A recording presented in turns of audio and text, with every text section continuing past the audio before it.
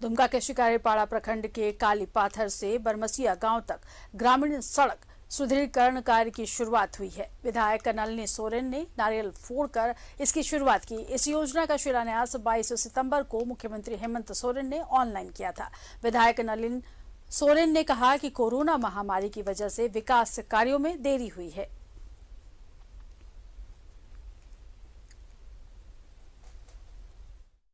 हो गया था।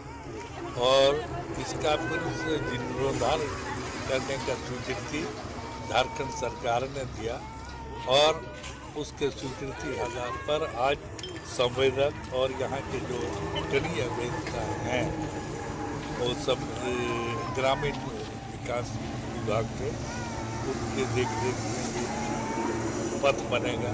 इसकी लंबाई लगभग पाँच किलोमीटर है और सुदृढ़ीकरण होगा और